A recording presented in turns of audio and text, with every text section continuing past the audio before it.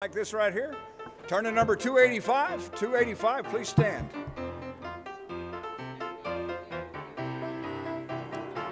Two hundred eighty-five. And we'll sing on all three verses. I have found a friend in Jesus. He's everything to me. He's the fairest of 10,000 to my soul.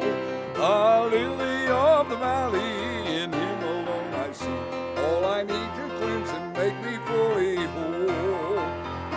sorrow, he's my comfort. In trouble, he's my stay. He tells me every care on him to roll.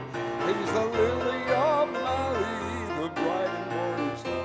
He's the fairest of ten thousand to my soul. He all my grief has taken, and all my sorrows won. In temptation, he's my strong and mighty tower. I have all for him forsaken, and all my idols torn from my heart, and now he keeps me by his power. When Satan tempts me sore through Jesus, I shall safely reach the goal. He's the lily of the valley, the bright mighty. He's the fairest of ten thousand to my soul. He will never, never leave me, nor yet forsake me while I live by faith and do His blessed will. A wall of fire about me, I've nothing now to fear. With his manna, he my hungry soul shall fill. Then sweeping up to glory to see his blessed face, where rivers of delight shall ever. Hallelujah. He's the lily of the valley, the bright and morning star. He's the fairest of ten thousand to my soul. Good evening, Bible Baptist Church. I'm so glad to see you all here tonight on a Wednesday evening. And I am excited for tonight. I don't know why, but I'm just pumped up and ready to go tonight. So I hope I can give you guys some of my energy tonight, and I hope we start feeling it all together. But we're so glad to see you all here tonight. Let's go ahead and pray and get right into the evening. Dear Heavenly Father, thank you so much for this day. Thank you for being so good to us and for loving us. And thank you for coming and dying on the cross for us 2,000 years ago. Please be with the evening tonight. Be with the message. Help us to get something from it. And so I pray, Amen. You may be seated. Amen. Well, here's a good song to sing at tax time. Number 235, He Set Me Free. 235, please. He set me free, He set me free. Once like a bird in prison I dwelt, no freedom from my sorrow I felt. But Jesus came and listened to me, and glory to God, He set me free. Well, He set me free,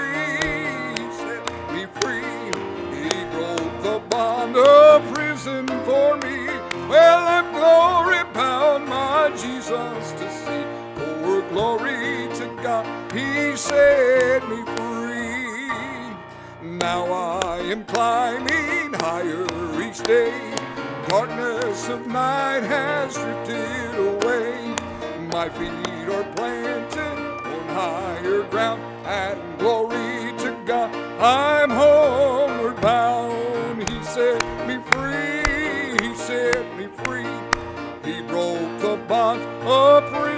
for me. Well, I'm glory bound, my Jesus to see. For glory to God, He set me free. Goodbye to sin and things that confound. Not all the world shall turn me around. Daily I'm working, I'm praying to, and glory to God, I'm going through. He set me free, set me free. He broke the bonds of prison for me. I'm glory bound, my Jesus to see. For glory to God, He set me free. Amen. Aren't you glad he set you free? He broke the bonds. Of, I can't think of the words, but he broke the bonds and uh, Glory to God, He set me free. All right, let's go ahead and see if we have any first time visitors in the house tonight. If we have any first time visitors in the building tonight, would you go ahead and raise your hands up high? We'd be able to get a card with some chocolates in it. Uh, so if you're visiting the church for the first time, our ushers will give you a card that you can fill out. So go ahead and raise your hand up high, and we'll be able to get you a card that you can fill out. And I don't see any first time visitors in the building tonight. So, Miss Paulette, looks like it's just us chickens here tonight. Now it is time for scripture songs. If Randa would like to come on up here. we're going to be going over the new one we just learned on Sunday night, and then we're going to do the three ones I think we're all very familiar with. But the new one, I felt like we didn't get it too good on Sunday night, but it was better than when we started, obviously. So I feel like we can get that one down pretty good tonight. We can get that energy pumping. Everyone, let's stand up, get that energy pumping and I get excited for the evening. For God hath not given us the spirit of fear, but of power and of love and of a sound mind. We're going to sing this one out loud. If you don't remember it, try to listen uh, for anyone around you who might know it. I'll try to sing it as best I can without sounding bad.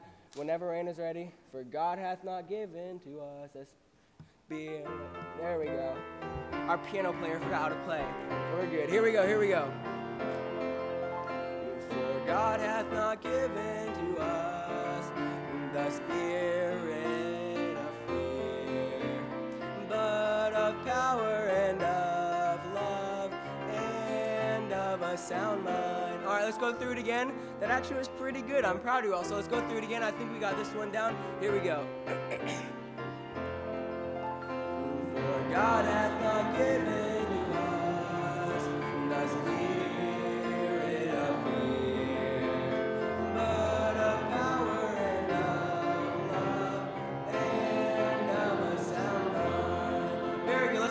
one more time. Sing it out loud. Here we go.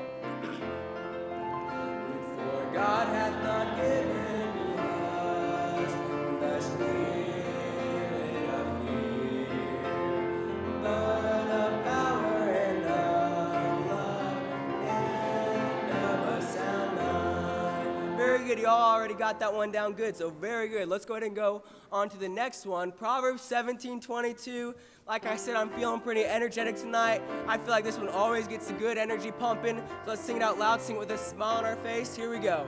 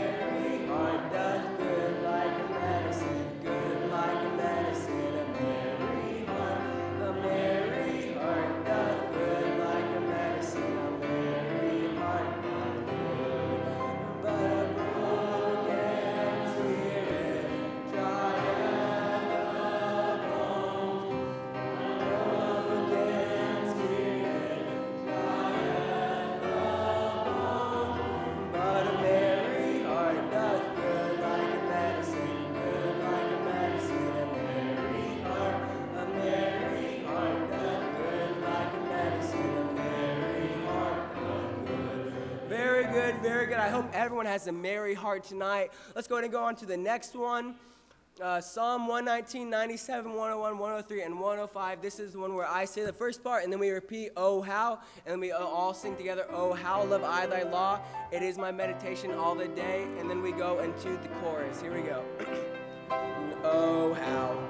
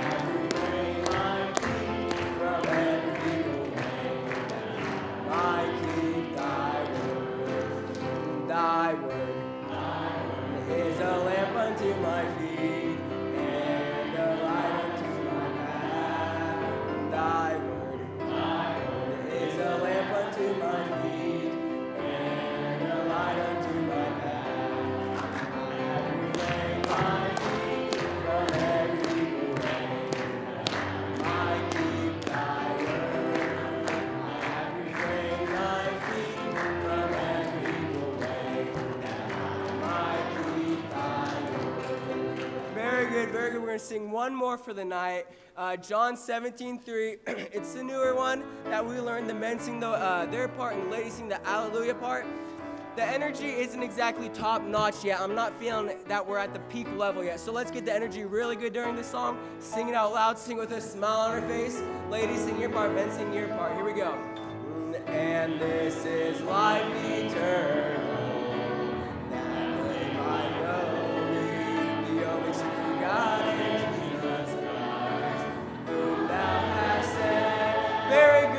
I'm feeling good now. Let's sing that one one more time. Sing it out loud. Sing it with a smile on your face. Here we go. And this is life eternal.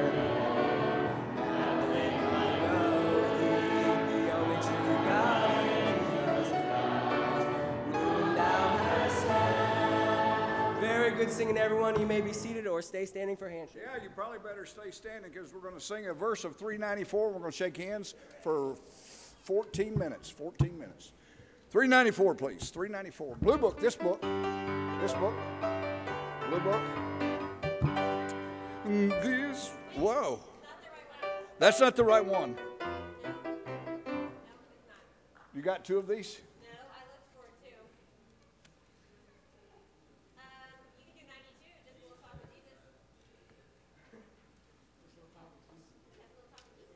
This is it. That's it. This is it. That's it. That's it. That's it. It's a little bit different, but it'll be all right. This world is not my home, I'm only passing by. My treasures and my hope are all up in the sky.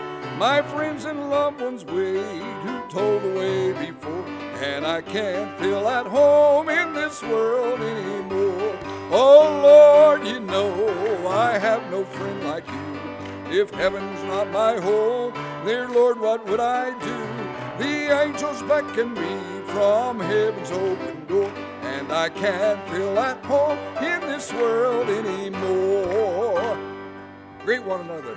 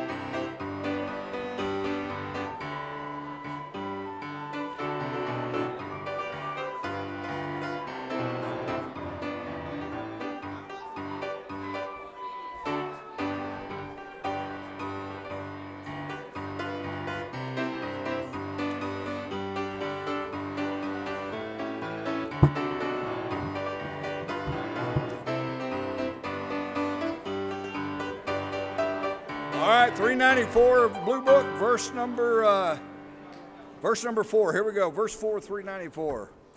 I won't have long to stay. My work is nearly done. I'm happy now to say my race is almost run. So long mine eyes are set on heaven's open door, and I can't feel at home in this world anymore. Oh Lord, you know I have no friend with you. If heaven not my home, then Lord, what will I do? The angels beckon me from heaven's open door, and I can't feel at home in this world anymore. Thanks and be seated. Well, after hearing y'all clap hands, I agree with Josh Lato. This church is too white. We've got to we've got to get some more rhythm in this church because y'all were really off. I don't know much about notes and parts, but I do know rhythm. Man, y'all rhythm was real bad tonight, man. No offense. Isn't it good to come to church on a Wednesday night and shake hands and see familiar faces and be encouraged? And I'm glad we can come to a place of truth because last night, 24 hours ago, they said we're going to get three to five inches, and um, once again, they were wrong. I'm glad when we open the Bible, I'm glad when we open the Bible, it's never wrong. Amen. Great to see everybody here. A couple of uh, things. I do think there's a little bit of bitterness in this auditorium tonight. We have uh, uh, coffee on the screen. It could, actually could look like a cup of tea. I don't know if Loretta Mitchell's here tonight, but Loretta Mitchell kindly sent me a video that said if coffee advertisers were truthful with their with their audience, and this man exposes coffee for what it really is. And I just try to be a concerned pastor and share it with some of the church members, and they seem to have gotten offended by it, and now they're harassing me with pictures of coffee. But I will stand for the truth no matter what. I just want you all to know that. So let's find out again how many of you love coffee in here. How many of you love coffee? You gotta, you can't imagine going on the rest of your day without your cup of coffee. How many of you just need Jesus? That's all you need is Jesus. All right, that's what I thought. All I need is Jesus. All I need, and bananas. Yeah, I'll take a banana any day over coffee. I'll take a rotten banana over coffee. Amen. But uh, praise the Lord. Great to see everybody here this evening. I, I feel burdened about this. Brother Andy Moore gave, texted me last week after the, the message on the Lord's Supper and just kind of gave me a little challenge without even realizing it. He said, Man, that was a good doctrinal message on the blood, doctrinal message. And I feel led tonight to teach a little bit of doctrine. Even though this is a Wednesday night crowd, I just, from things I've heard and the confusion that's out there tonight, I want to I want to show you biblically where we believe about baptism again. Uh, baptism is probably, I'd say, I, I did some research this week, top three or four reasons people will end up going to hell because they believe baptism is going to save them. Baptism is going to definitely be in the top three or four. I, I even heard of Hollywood uh, actor and actress recently that, that, I can't remember who it was, but they talked about how they have to get that, their, their newborn child baptized. I thought so tragic because their lifestyle is nothing that reflects the glory of God. They need Jesus, I, I get that. But they, they thought to themselves, I've got to get my baby baptized, and they get that false assurance. And uh, I want to just teach you a couple things about that. Maybe some of you aren't aware of this, but there's actually seven baptisms in the Bible. There's seven different baptisms in the Bible. And we're going to find out which one we believe. And did you know that our baptism was different than John's and it's different than Jesus' baptism? And you'll see that in just a second. And we'll show you that from the Bible so you can see and understand. It'd be a blessing. Uh, Actually, we're supposed to read the scriptures right now. That's right. We have a missionary letter. We have mission. Did we get the copies worked out, Miss Paulette? Miss Nikki? Okay, good. So we'll, I guess we'll read it at the end of service tonight. I'll read it at the end tonight so we can get the kids to their class. Um, let's go ahead and read our scriptures. Let's go take our Bibles to Matthew chapter 28. Matthew chapter number 28. Uh, pray for me. I fly out this Friday morning. I'll be preaching in Tucson, Arizona area, a big youth conference. I'll be with Brother Judah, so that'll be fun to see him maybe get an update on his dad. Hopefully, I can tell you about that Sunday. And then he and I will be preaching together Friday night and Saturday morning. Then I'll fly back Saturday night, be here Sunday. So I'll be praying for that. And then a week from tonight, we will be traveling to, many of us will be traveling to Hammond, Indiana for the basketball tournament. Our varsity boys will be participating in a basketball tournament. And we will be going to Pastor Clark's church in Bridgeview a week from tonight. And our young men will be singing for their church. And Pastor Clark has asked Grant to preach. So the young men are going to do everything next Wednesday night. We just get to sit back and enjoy their singing and preaching. It'll be fun. And uh, so we're looking forward to that. That's a week from tonight. So, having said that, Don Kuntz is going to preach. He got a burden about a message on prayer. So, going back to the doctrines of things, and he'll be preaching on that next Wednesday night. So, you'll be in good hands, and uh, either Brielle or Miss Stacy will interpret for the deaf, so that'll be great. All right. All right, let's look at Matthew chapter 28, verse 19. Go ye therefore, Jesus speaking here, and teach all nations, baptizing them in the name of the Father, and of the Son, and of the Holy Ghost, teaching them to observe all things whatsoever I have commanded you. And lo, I am with you always, even unto the end of the world. I want you to look at that again. Go ye therefore, comma, that's first, go, and teach all nations, comma, baptizing them in the name of the Father and the Son and the Holy Ghost. That's significant. And then it's a continual thought. There's a semicolon, so there's a little bit longer pause. But then it says, teaching them to observe all things whatsoever I've commanded you. And lo, I'm with you always, even unto the end of the world. Amen. Great to see everybody here tonight. Sure appreciate y'all. We'll hear the special, dismiss the kids, and get the message tonight. Thank you.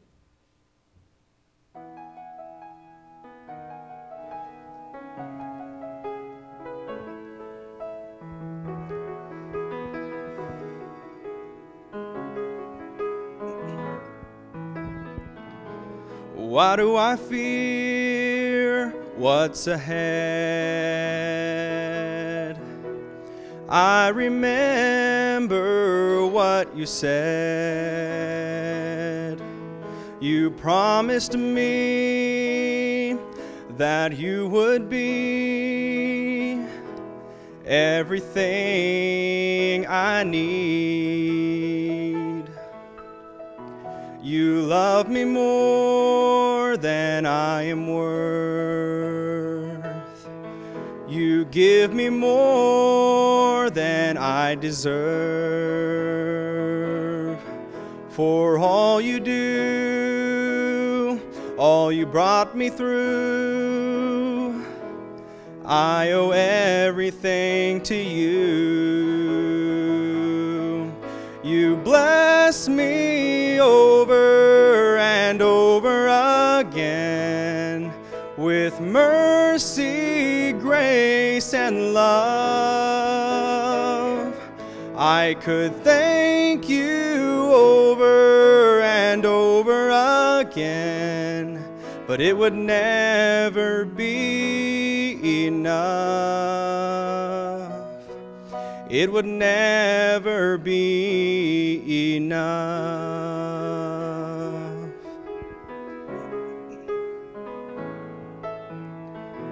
There's no one else, Lord, you're the one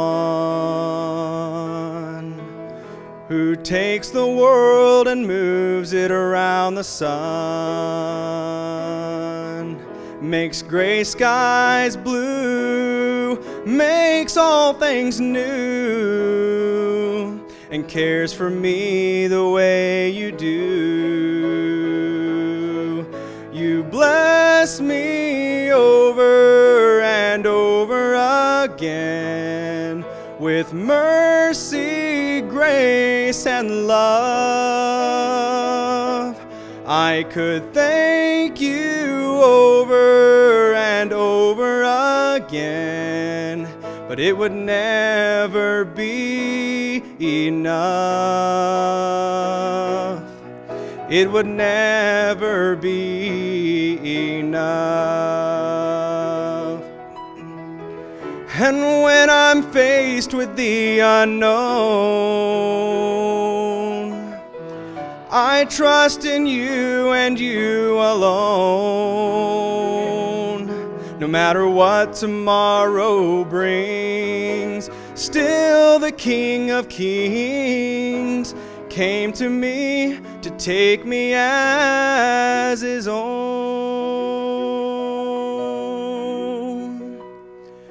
You bless me over and over again with mercy, grace, and love.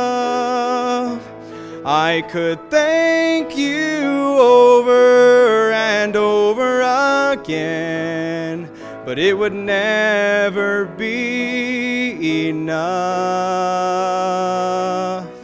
It would never be. It would never be. It would never be enough.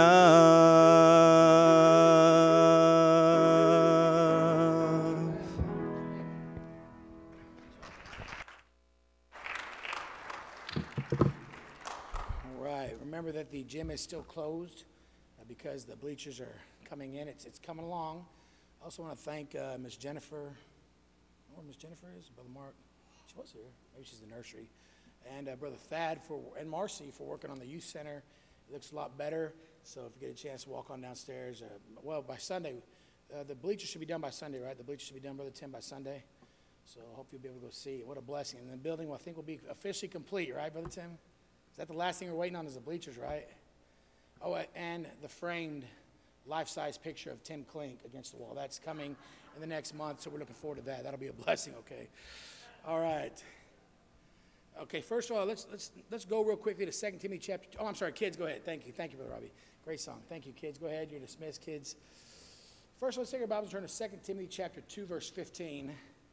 2 Timothy chapter 2, verse 15. I'm just going to uh, start off with this because this is a significant verse for us to understand where we're going tonight.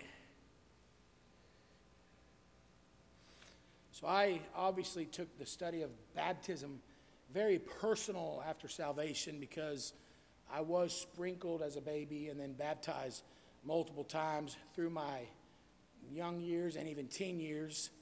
And so when I finally got saved and I heard about the subject of baptism again, it made me nervous. So I, I mean, I've been baptized a total like five or six times in my life. Um, only one of them really meant what the Bible means for it to meant for me, and it was a blessing. And so tonight I want to talk about that subject. But look at 2 Timothy chapter 2, verse 15. The Bible says this study, this is a command to the preacher, study to show thyself approved unto God, a workman that needeth not to be ashamed. This next phrase is a very significant verse. It says, rightly dividing the word of truth. That is a very important, uh, a very important component of understanding the Bible. And oftentimes you, you hear this statement, and it's so true. The Bible is all, the whole Bible is written for us, but it's not written to us. Okay? There's a difference there. Uh, my wife may get a, a, letter from somebody, a kind card, and it's directly to her. Um, I can still benefit from reading it, but it wasn't to me. And sometimes that blesses my heart to know that somebody was a blessing to her. And I get a nice letter from somebody. I'll take a picture sometimes and send it home to my wife, and she'll read it. And it was written to me, but it was a blessing to her.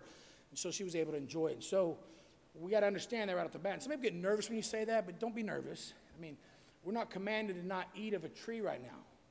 We also are commanded, not commanded to not eat bacon. How many are glad for that? I mean, thank God you can eat bacon with a clear conscience tonight. You can go home tonight and fry up some bacon and sleep well tonight. I mean, Peter was just, just horrified just at the thought of eating the unclean in Acts chapter 10. So it's a significant thing to understand that. So let me, with that in mind, let me just introduce to you a couple things. First of all, make sure you understand the dispensations of the Bible. Um, God's audiences change. There were pre nation Jews, and then God dealt with the nation of Israel. And now, right now, He deals with the church. And uh, thank God for that. And as we read the Bible, it helps so much when you understand that. But here's the depth and the power of the Word of God. Uh, you have stories of the Bible, but you also have doctrines of the Bible. Then you also can make so many life applications. For example, the story of David and Goliath, a Jewish young man fighting for the Jewish nation of Israel, the armies of Israel, against a Gentile enemy. And he defeats him. All right, that's the story. That's a biblical story that really happened. We believe that tonight. But there's so many life applications you can take from that, especially when preaching to teenagers. Many pastors and preachers have preached through the years from David killing Goliath, all right? So there's seven biblical baptisms. I'll give you to you seven real quickly. Number one, there's the baptism of Moses. Not, i don't have time to get into all of them. I, am going to pique your interest and you can study themselves. The baptism of John, the baptism of Jesus. Uh, trivia question How many people were baptized in the baptism of Jesus? One person. Right. Good. I'm glad. Good job. Good job, class. Number four, there's the baptism of fire. Uh, number five, there's the baptism of the Holy Spirit. Number six, there was the baptism of the cross. And then number seven, there's the baptism of the believers. All right? Now, having said that, let me just throw something out for you to think that helps, to think about that help us as we study the subject and as we deal with people in this world. If it was really a big deal, Jesus would have talked about it more. All right, let me give you an example of that, okay? There are numerous denominations that put so much emphasis on speaking in tongues, all right? Some think tongues are just a gift, but not essential for salvation. Some believe if you've never spoken tongues, you are lost and on your way to hell. Yeah, but I've already received Christ. It doesn't matter. You have to have evidence of salvation by Christ by speaking in tongues. So I often ask the question Did Jesus ever speak of tongues? He did not. When he was teaching about the Holy Spirit, he did not speak of tongues. He gave us the Holy Spirit's role and purpose, which is to be a comforter and a guide in this world into truth and all things pertaining to truth. That's what Jesus, that's how Jesus, for lack of a better term, hyped the Holy Spirit. That's how he built up the Holy Spirit for us. Now, that's a whole other message. And if you're curious about tongues, study it out. Tongues. It is a biblical doctrine, it is a biblical activity, and there was a reason for it. Um, in Acts chapter 2. In fact, biblically speaking, you are witnessing tongues tonight because we are preaching in two languages so that two uh, cultures can receive the Word of God. That is the biblical intent of tongues. It's so important to find out biblical intent over man's motive or reason, okay? Having said that, I ask you, I challenge you to look as Jesus was teaching of himself, talking about his sacrifice, hinting to the crucifixion, talking about his life, you'll see that Jesus does not mention baptism. Uh, well, he gets baptized by John. We'll get to that in a second. And then he mentions it when he gives us the Great Commission. But throughout his earthly ministry, he did not speak of baptism a whole lot. Why? Because he's emphasizing himself as Savior. He said, He is the way, the truth, and the life. He said, He is the bread of life. And he told a religious leader Ye must be born again. And he does not mention baptism in that chapter. Why is that significant? Because if Jesus talks about something, it's really worth paying attention to and finding out what he's teaching about that subject. All right, so we live in a world today where so many people st- stalk all their spiritual salvation in baptism. And a lot of times you can ask somebody, Do you know for sure you're going to heaven? And the first response they'll say is, I got baptized, and they fill in the blank. I got baptized, I got baptized. And it's, it's a blessing to, to hear that, and I always congratulate them. You get to be kind about it. I say, that's wonderful. I'm so glad to hear that. When did you get saved? Just ask them a nice question. And it's amazing how many times I say, What? And boy, you can just see the look of doubt on their face. A sincere person will realize it's different than baptism. And I, I, believe the reason they respond that way is because they know in their heart of hearts, when they're all by themselves, they knew something wasn't completed. Because here's the deal, church. When it's all said and done, when anybody says you got to speak in tongues to get saved, or you got to get baptized, or you got to be a good person, to me, it is an insult to what Jesus Christ did for us on the cross. It is saying that what Jesus did on Calvary does not suffice God's demand for judgment and wrath. And we know that Jesus did it all. When Jesus said, It is finished, he was saying he, in his sacrificial giving of his own life, was meeting the demands of God's wrath and judgment. All right, so tonight let's look at just a couple things. Number one, I want you to look at baptisms and dispensations. Baptisms and dispensations, all right?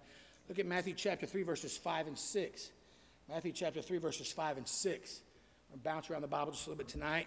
The Bible says, Then went out to him, unto out to him in Jerusalem, and all Judea, and all the region round about Jordan, and were baptized of him in Jordan, confessing their sins. All right, look at verse number 15 of the same chapter. Same chapter. It says, And Jesus answering said unto him, John the Baptist, Suffer it to be so now for thus it had become unto us to fulfill all righteousness. Then he suffered him. That's when Jesus was baptized by John the Baptist. All right? Matthew chapter 21, verse 25. We'll, we'll tie it all together in just a second. Matthew chapter 21, verse 25. I want you to notice that Jesus calls it the baptism of John. All right, watch this in verse 25. The baptism of John, Jesus says, whence was it? From heaven or of men?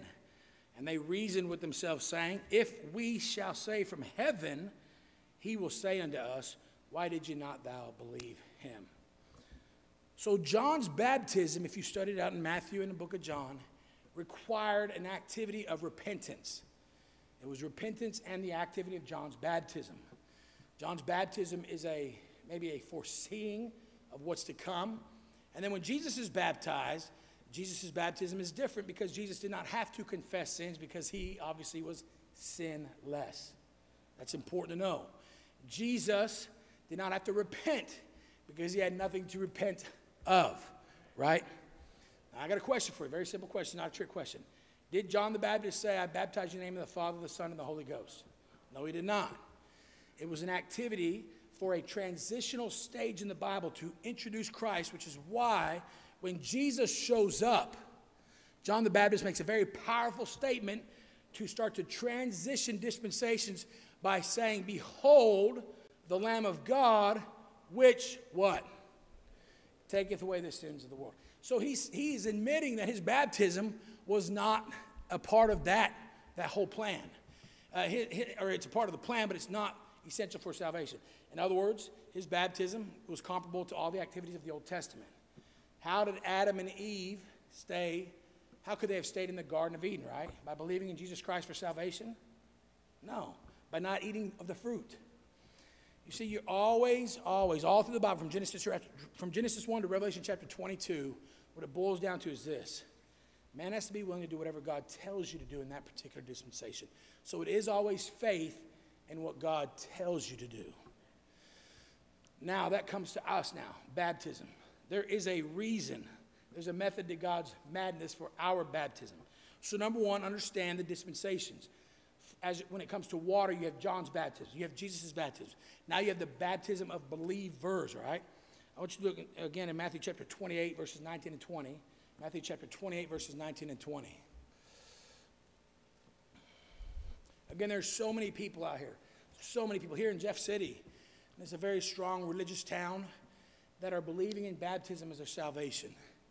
And it just breaks my heart because I believed that. I was taught that. And are there verses that make it sound like baptism is essential for salvation? Yes, they are. But you have to look at it in its proper dispensation. All right? There are some that believe it. You could Google right now, are you required to be baptized for salvation? You'll get all kinds of articles about it. And they sound convincing. But again, I ask you a question if baptism was so essential, why didn't Jesus emphasize it more?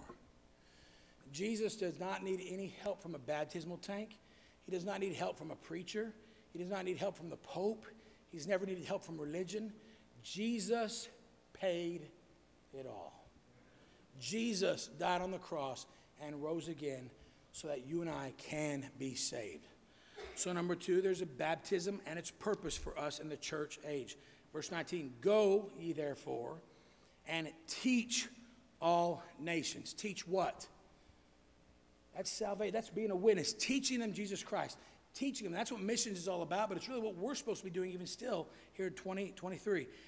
Baptizing them in the name of the Father and of the Son and of the Holy Ghost. Teaching them to observe all things whatsoever I've commanded you, and lo, I'm with you always, even to the end of the world. Amen. I'll tell you what, the Independent Baptist Church has done a good job of soul winning, but not a good job of baptizing and discipling people. We can definitely improve in that area. Teaching people to get baptized the right way, and then teaching them uh, to teach others what we have taught them. So, what is the purpose of biblical believers' baptism for this dispensation? All right, it's important that we see that. First of all, I am wearing tonight a wedding ring. This ring I wear publicly for one simple reason it shows the world that I am what? I'm married. If I take the ring off tonight, am I still married? I am married. Now, if I call my son up here tonight and I put that ring on his finger, does he all of a sudden become married? He's not married. He's not married just because he puts the ring on his finger.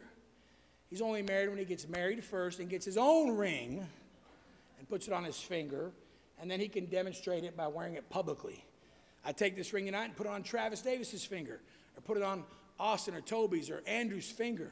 It does not mean that they're married. So many people today are confused because they think their baptism is going to cut it and get them to heaven. But being baptized before you are saved or trusting only in your baptism is like a young man putting on a wedding ring who has never been married. And the reason I put this ring on is to show the world what happened one time in my life when I said I do and my wife said I do and we got married. Now I wear this ring to show the world and they know this man's a married man. It's not that difficult to understand. However, so many people, even though they understand that concept, still think that baptism is essential for salvation. Many cultures in this world have marriages without rings, but they're still married. And if I don't wear this ring, it doesn't mean I'm not married. If I never wear the ring the rest of my life, it doesn't change my marriage standing in the eyes of my wife, in the eyes of my family and friends, in the eyes of my God, and even in the eyes of the government. The government does not demand that you wear a wedding ring to prove that you're married. But we put it on as a display of something that happened that really means a lot to us internally. And so that's what baptism is tonight, church. It's so important that we understand that and teach that because we live in a world now that where the devil's got people so duped into believing that they're going to go to heaven someday because they have been baptized. They got wet, but they weren't really baptized because baptism in its proper order comes post salvation, never pre salvation. If you got baptized before you got saved, you just got wet. And I got wet several times. But after salvation, there was a significance there because now we are obeying the process and commission that Jesus Christ gave to us by saying, We now baptize you in the name of the Father, the Son, and the Holy Ghost. And it is a public display that shows people, eyewitnesses, what happened inside by salvation. Uh, this has been kind of fresh lately because we have quite a few new people joining the church. We have we had a family join this past Sunday. We have one joining this Sunday, and I have two or three other families that have been meeting with me and my wife about joining this church. What a blessing that is. And uh, we have two scheduled to get baptized soon, also, and another one to get baptized soon. And uh, that's exciting, all those things. But it's just to hear that concept of baptism again. Is baptism not important? No, it is important. It is a big deal to God. God is for baptism. God likes baptism. God commands us to be baptized. And it is a beautiful display of immediate obedience because we have been saved by his son. And the picture of baptism is beautiful. So that leads me to another thing. I oftentimes, when I talk to a child, especially, I use the wedding ring analogy more with teens and adults. With children, I have a fun thing where I'll do where I'll, I'll just, I'll get my phone, I'm talking to a kid, I'll say, hey, I'll just say, hey, who's that right there? And I'll just point, and they'll say, that's your wife. I said, no, that's not my wife. The kid said, yes, it is. That's your wife. I said, no, it's not. My wife's over there. My wife's in the nursery. My wife, that's just a picture of my wife. And I thank God for pictures. I'm glad I can look at a picture of my wife throughout the day. I'm glad I can look at a picture of my family. Pictures are a blessing, but pictures are not the real thing. In a few weeks, my wife and I are flying to Fairbanks, Alaska. You're a preacher that loves salt water. We'll be in negative 20 degree weather, sleeping during the day, and all night we're hunting for the great aurora. It's this massive green animal that stalks the sky, that pursues you and devours you with its beauty. All right, that was my wife. That's my wife's desire. We, for our 25th anniversary this summer, we, we originally planned to go to Hawaii, and my wife heard that there was still COVID restrictions, and she said, I'm not taking you to Hawaii when there are COVID restrictions because you will make scenes everywhere and embarrass us. So we discussed some things out, and I chose Florida. And we went there last September for four or five days, and my wife chose the frozen tundra of Alaska. And in a few weeks, we're going to go up there, and we're going to mush I feel bad for the dog sled that gets me on there, but thank God we're going to get to mush with some dogs. And we're going to see some ice sculptures, and we're going to have a wonderful time. We're going to get to go to church that influenced us in our scripture singing. We'll be there Wednesday night. I'll see some friends because we've preached it before. And the highlight of the week is every night we're going to look for the auroras, the, uh, the northern lights, they call them, right? Fairbanks is one of the top three or four cities on the planet that, that are known for seeing the northern lights. My friends have been texting me many pictures saying this year is one of the best years ever. And so we're looking forward to that. And my wife is really, really trying to figure out how to get pictures. Miss Janelle wants to get these beautiful pictures, and she's been watching YouTube videos, and, and everything we're reading saying that there's, there's a, for some reason, the way the northern lights are, there's a vast difference between what the naked eye sees and what cameras do with the northern lights. Now, there's many things you can take a picture nowadays, and, and it's very comparable. There's something about the northern lights, they say that, that just, you just, you just can't, you can't get it exact. Even the highest tech cameras aren't the same as the naked eye. And some argue that the cameras actually do a better job than the naked eye does. We'll find out and let you know. How many of you seen the northern lights before? How many of you seen the northern lights? A few of you? All right, so we're looking forward to that. Um, I told my wife I see them every night. You just look north and see lights. There's, I mean, north lights. Anyway, so, but we're looking forward to the trip. Because, watch this now. You can take pictures all you want of something, but there's nothing like seeing it really from your own eyes. And so many people are going through the Christian life with a picture of salvation against their breast or in their pocket or in their religion or in the back of their mind. And they look at that picture from time to time, and it comes up at, at, in a religious setting, or they, they discuss and they go back to that baptism, and yet they've never seen real salvation with their naked eye. So salvation comes first. And then we get the beautiful activity of taking a person and baptizing them. And the reason we take them and put them under is it's a beautiful picture of the death, the burial, and the resurrection of Jesus Christ. The only debate I would have about baptism is maybe since it's supposed to signify the burial, we should hold them underwater just a little bit longer than we do. I thought a good 30 seconds would be good. When the legs start kicking, then rise them up, okay? I mean, if you're going to represent the death and burial of Jesus Christ, you might as well go as close as you can, right? I think it was Wesley when he was little, jumped into the baptistry and splashed everybody, and got us wet. That was fun. And maybe you want to hold him underwater for a little while. so, but the point is tonight is church, listen, we, we know this tonight, but it's important to be reminded biblically, doctrinally, we have our own biblical, doctrinally given baptism. We have it. We have the baptism doctrine handed to us. And it is an essential step of obedience after salvation that we present to people of, uh, in necessity, not for salvation, but to display the blessing of what Jesus did for you in your heart and He saved your soul. And the peace of mind of knowing you're going to heaven someday. That, my friend, is the beauty of baptism. And so tonight, when we look at the subject of, of the balance of baptism, I would challenge you to study it out. Acts 2.38 is one of the big controversial ones. I've taught a series on it many years ago. I probably should do it again sometime. Why many people believe Acts 2.38 is a verse that proves that you have to be baptized to be saved. There's other verses. 1 Peter chapter 3, verse 8 is another one. And I can easily explain those verses away to you because they apply to the dispensational truths that God gave to us in His wisdom. So tonight, baptism is a beautiful gift. But it's not the same as the gift of salvation. It is nowhere near the gift of salvation. It is a step of obedience. It is to display to people on the outside something happened to me on the inside. And I'm unashamed to put the wedding ring on. I'm not just going to carry a picture of salvation with me, because that's what baptism is. I got salvation first. I saw the northern lights with my naked eye first, then I snapped a picture. And no matter what happens, 10 years from now, when I'm looking at that picture again, it'll still always feel different than when I saw it with the naked eye. So tonight, it's so important that we as Christians understand that doctrine. And don't be afraid to educate people that call themselves Christians today of this subject. You know why? Because Randy Dignan wishes somebody would have a lot sooner than they did. God is good tonight. Heads about eyes closed. Thank you for listening so well. Hello, Pastor Randy Dignan here of Bible Baptist Church Jefferson City, Missouri. I'm going to take a moment and express to you what our main vision and purpose is of this ministry. You see, much of this world today has a question. It's a question that was asked in John chapter 3 by one person.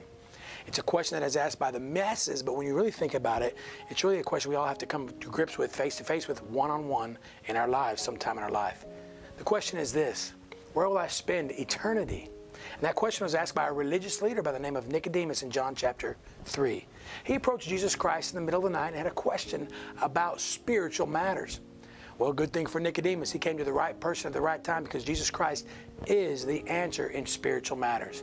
You see, many of us have questions about that, and man has tried in many of its efforts to answer that question with their own ideas and philosophies.